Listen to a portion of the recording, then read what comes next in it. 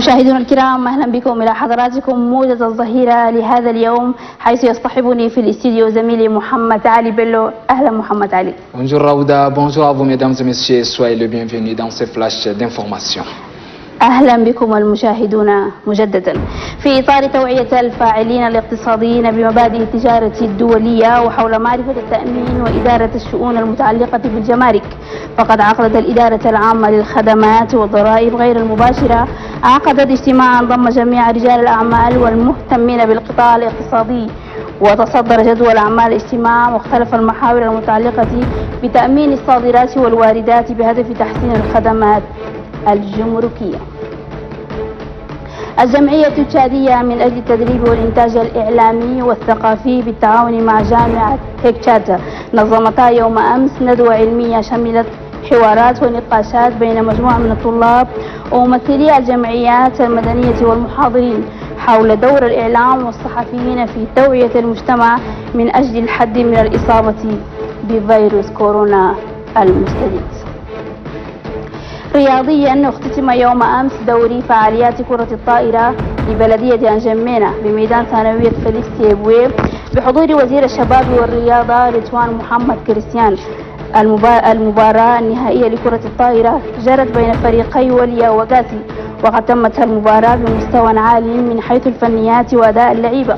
وفاز فريق وليا على نظيره ب 47 نقطة مقابل 46 نقطة. ختام الموجز بالعربية إليكم الزميل بلو. Merci Raouda. Une fois de plus, euh, bon après-midi à vous mesdames et messieurs, soyez les bienvenus. Les agents des douanes et droits indirects sont en atelier de formation sur l'assurance transport des marchandises, une formation initiée par la direction générale de cette institution en vue de renforcer les connaissances des participants sur ces domaines qui est gage de sécurité en matière de commerce international. Lançant euh, cette formation, les conseils du directeur général Abakar Anour rassure que l'atelier organisé conjointement avec les sociétés d'assurance de la place entre dans le cadre de la réforme de son institution en vue des résultats probants. Autre chose, la Fondation tchadienne pour la formation et la production médiatique et culturelle en collaboration avec l'université Hekchat a organisé hier après-midi dans les locaux de cette université une conférence débat.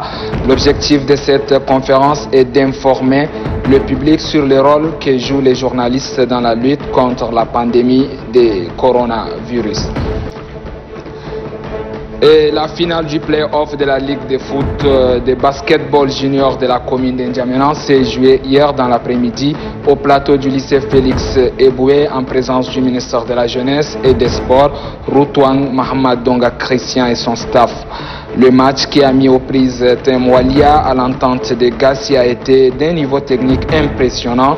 Les deux équipes ont maintenu le suspense jusqu'à l'ultime minute qui a vu les basketteurs de Walia faire la différence sur un lancer franc pour remporter le trophée. Au coup du sifflet final, le chef du département des sports, Routouang Mohamed Donga Christian, s'est dit satisfait de la prestation des jeunes basketteurs dont les talents promet un avenir meilleur pour la pratique de la balle orange au Tchad.